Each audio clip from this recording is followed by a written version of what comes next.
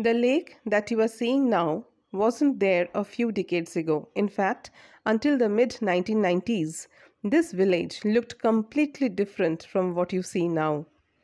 This is Laporia, a village in the Dudu district of Rajasthan, the desert state of India. Like its neighbors in this dry and semi arid region, this village too had scanty scrubby vegetation and little surface water.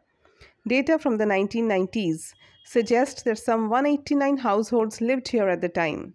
They majorly practiced agriculture and animal husbandry for livelihood.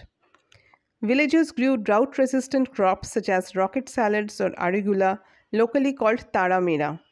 They also grew some jowar, chickpeas, and millets. The two monsoon months of July and August brought rain and relief that the people looked forward to during the rest of the year. If the monsoon didn't bring enough rain, water and food scarcity aggravated in the following months. Somewhere around 1976 77, after three years of continuous drought, the crisis had become so intense that almost half of Laporia left their agricultural lands and cattle behind to work as construction laborers in the neighboring cities. अकाल पड़ रहा है तीन साल से तो यहाँ पानी नहीं है, पशुओं के लिए चारा नहीं है, लोगों को खाने के लिए अनाज नहीं है तो ये तो मजदूरी करने गए। कहाँ गए? साहब, ये तो जयपुर भी गए, दिल्ली भी गए, चंडीगढ़ भी गए, अहमदाबाद भी गए, कई शहरों में गए। तो गाँव में से 40-50 प्रतिशत परिवार नहीं थे। तो फिर पूछा कि भाई वहाँ वो गए हैं तो क्या कर रहे हैं? कि वहाँ मजदूरी कर रहे हैं, छोटे बच्चे भी साथ में हैं, कोई बड़ा दस बारह साल का बच्चा भी साथ में गया है तो उसकी पढ़ाई बंद हो गई, महिलाओं की डिलीवरी वहीं कहीं झुपड़ी पट्टी में हो रही है बहुत सारी दिक्कतें हो रही है। This greenery that you are seeing now is the result of an innovative system that the residents here improvise designed and perfected over the years Faced with the hardships during the drought months in the late 1970s, the residents of Laporia, under the robust leadership of a local farmer, resolved not to wait for help from external sources but take upon themselves the well being of their people, their land, cattle, and natural resources. तो चेरापूंजी में इतनी बारिश होती है कि वो हर जगह 12 feet पानी भर सकता है अगर आप एक ऐसा पाइप खड़ा कर दें, नीचे से पैक कर दें तो वो फुल हो जाएगा बारिश से। इतनी बारिश होती है वहाँ पर। और वहाँ पर घास कितना आता है? छः फिट। और वहाँ हाथी रहते हैं।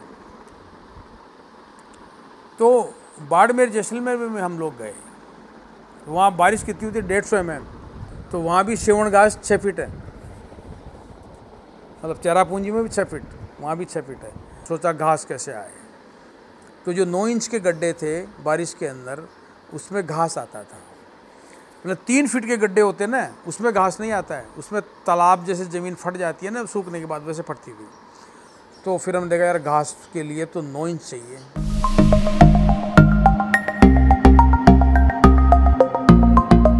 Hello as a part of the what can we do series supported by the solutions journalism network I am bringing to you today this story of hope of achievement of working together towards a common goal, of living well and of taking care of ourselves and our homes.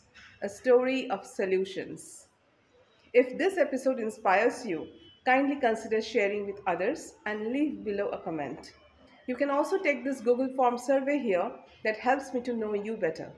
I love for you to email me your suggestions and questions at earthsolutionsnetwork at the. I look forward to your support. So, what did the residents of Laporia do to ensure there's water for drinking, for the cattle, for agriculture all around the year?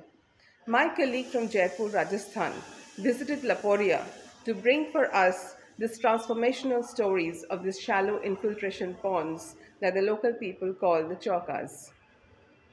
पण नौ inch पानी भरना चाहिए सब जगह कितनी बारिश होती है नौ इंच भरेगी नहीं भरे तो कैलकुलेशन किया कि नहीं, वो जब चाहे, जब भर सकता है। कभी नौ इंच हो, कभी नहीं हो, कभी आधा होगा। तो फिर हमने एक छोटे छोटे तालाब, ऐसे, जैसे ये सीना है मतलब ये हेड वाल है, ये साइड वाल है। तो साइड वाल तो बना दिया, ऐसा कैसा आप बनाते रहो, यूँ बनाते रहो तो क्या है कि एक जगह प्रेशर पड़ेगा, फिर टूट जाएगा। ये इसका क्या करें? तो ये जो हार्ड वाल है ना, इसको एक तरफ़ से पाँच फीट नीचा कर दूँ। तो वो जो भरेगा ना, वो एक साइड में निकलेगा पानी। सपाट सपाट। वो भरेगा, वो वो वो वो। फिर एक तालाब बना दो। तीन मॉडल बनाए हमने। तो इसमें ये पानी बारिश के पानी में जैसे खूब बारिश हो गई, साठ एम बारिश हो गई तो ये भर गई। अब दो दिन बारिश नहीं हुई तो इनका पानी ज़मीन में चला जाता है। फिर दो दिन बाद बारिश हो गई, फिर भर गए। तो ये पूरे बारिश के मौसम में सारी बारिश को अंदर ले जाते हैं। और जब बारिश के दिनों में सारा पानी अंदर चला गया तो एक अंग्रेज़ी का टर्म है फिर सब सरफेस यानी कि 15-20 फीट का ज़मीन का हिस्सा। उसमें पानी की डेफ्थ में, पानी उसमें सेट हो जाता है, नमी के रूप में बढ़ जाता है। जब ऊपर सूखता है तो पानी धीरे धीरे वापस ऊपर आता है। और ऊपर जो घास पेड़ है, उसको हरियाली देता है। तो ये बारिश के पानी को वहाँ इस तरह से रोका गया है कि घास ज़्यादा पानी से गड़े नहीं, कम पानी से जड़े नहीं। Built over the 18% of the empty barren community land in the village that was mostly used as pastures, these trenches or chaukas were supposed to catch and temporarily store the runoff rainwater during the monsoons.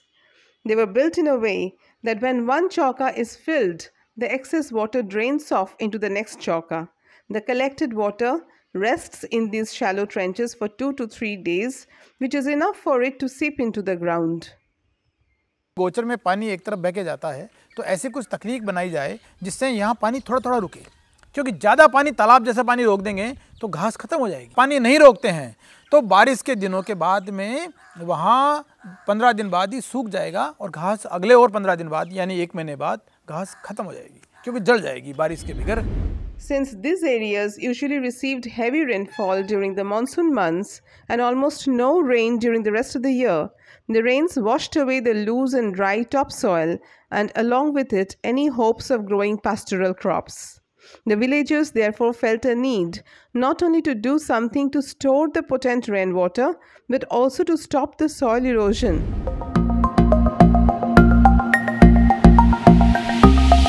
जिसमें चौका system है और उस चौका system से वहाँ पे घास आ रही है बारह महीने घास आ रही है तो भेड़ बकरी बारह महीने चरती है गाय, भैंस छः महीने चरती है। छः महीने के बाद कुएँ हैं या 103 उनमें सब में पानी है सब का पानी मीठा हो गया है।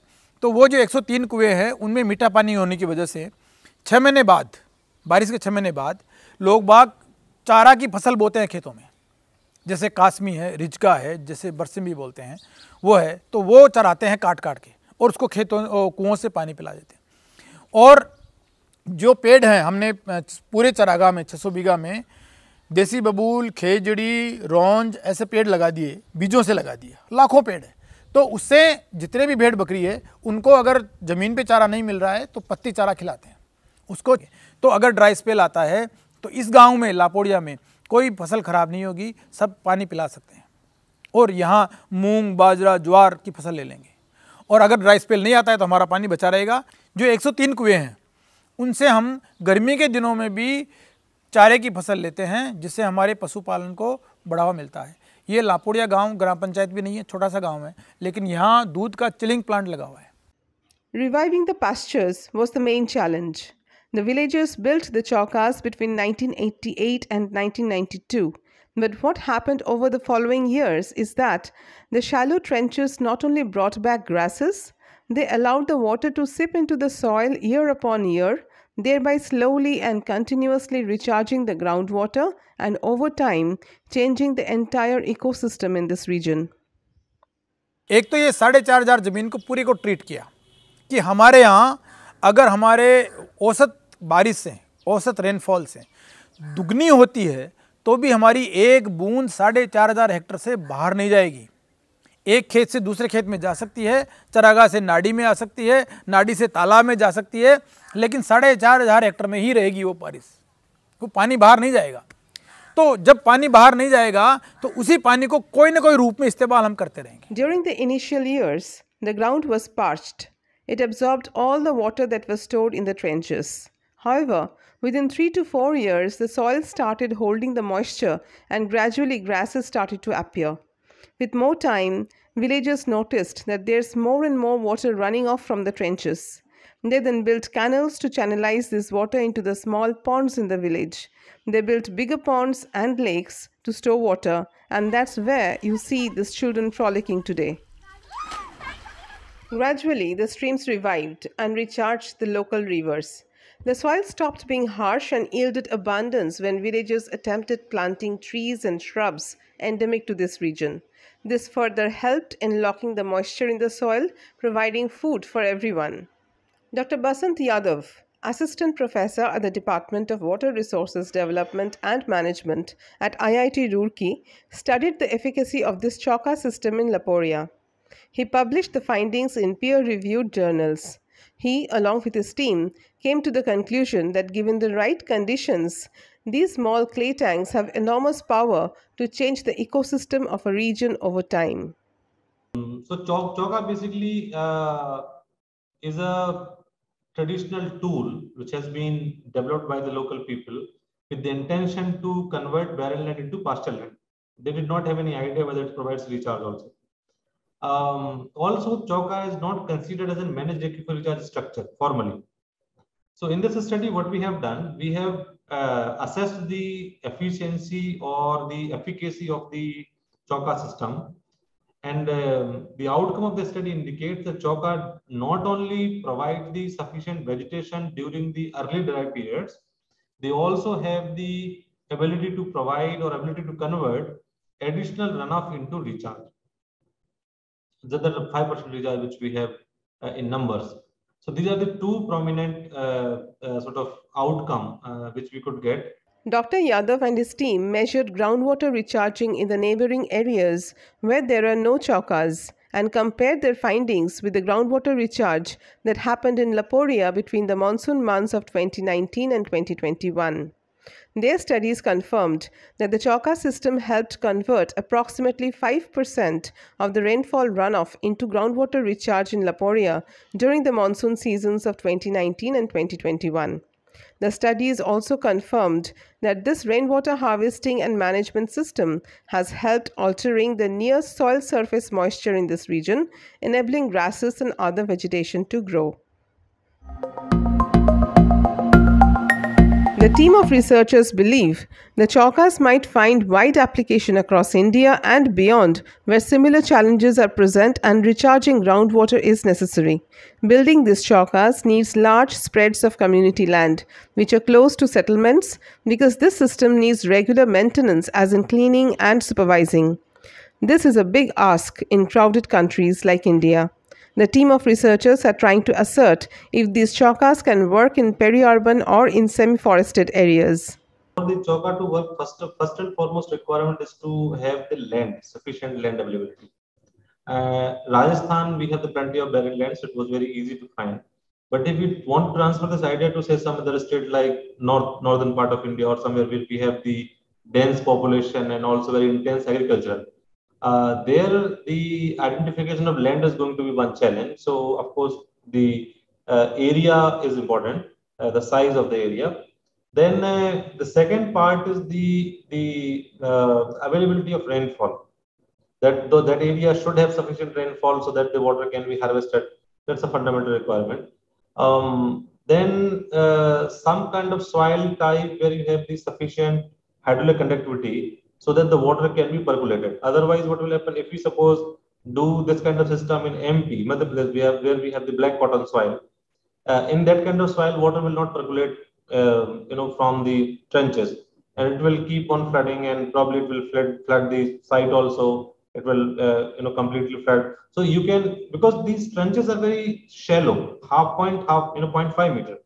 So the surface water storage is not the idea the idea is to distribute the water in a very big area, bigger field, and allow it to percolate through without having any extra intervention through natural, uh, you know, hydraulic connectivity. Dr. Yadav and his team are also studying the quality of the groundwater that's recharged by these chaukas. That is, if the recharged groundwater is clean and drinkable, or does it have traces of minerals that might not be very helpful. The other important condition that is needed for the chaukas to be effective is the soil profile in the region. The ground has to be porous enough to allow the water to seep in within 2 to 3 days of collection. Dr. Yadav's study shows that the soil in Laporia is characterized by fine silt loam in the upper layers and a porous sandy loam in the bottom layers.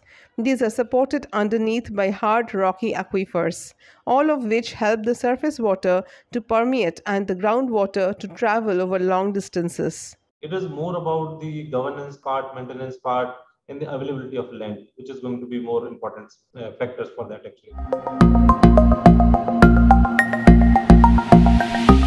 The Chauka system helps transform a village in the northwestern part of India, famous for its aridity. The villagers now are self-sufficient and economically empowered, all by managing wisely the little water they receive from the skies every year. ये काम जो है वो सालों साल बढ़ेगा ज़मीन उपजाऊ होती रहेगी पानी रुका मिट्टी नहीं बही पत्ते गिरे पेड़ों के उनको पत्तों को खाने वाले जर्म्स आ गए और वो दो महीने पत्ते बिल्कुल नहीं मिलेंगे आपको ग्राउंड वाटर ऊपर आएगा तो ऊपर वाली जो परत है ना ज़मीन की वो हरी रहेगी अगर 300 फीट, हज़ार फीट पानी चला गया तो ऊपर सब पेट सूख जाएँगे। पानी अगर आप हाथ से पी रहे हैं या पाँच फीट गहरा पानी है तो सब पूरा हरा रहेगा टोटल। हर घर को पंद्रह से बीस हज़ार रुपये महीने के इनकम हो रही है पशुपालन से और कृषि की इनकम अलग है। तो कोई प्लान नहीं कर रहा है। सबके बच्चे स्कूल जा रहे हैं, सबके अपने अच्छे घर बने हुए हैं। तो एक खुशहाल गाँव बना हुआ है क्योंकि उन्होंने अपना काम डिसिप्लिन में किया। उन्होंने उतना ही चीज़ें ली जितना उनको प्रकृति से लेना है, जितनी उनके लिए ज़रूरत है। और पूरा पानी, पूरी यहाँ की हरियाली, यहाँ की पूरी व्यवस्था को संभाला। At the end it has to be said that the chaukas work so well in Laporiya because the people work together towards a common goal and manage the common resources from a place of strong intention A united community of people is the topmost necessity for the success of any project and especially for these Chaukas as Laporia proved because these are high on local management, caring and sharing. What do you think of this story? What would you like to know more? Keep sharing your questions and thoughts, and I'll see you in the next episode with another solution story.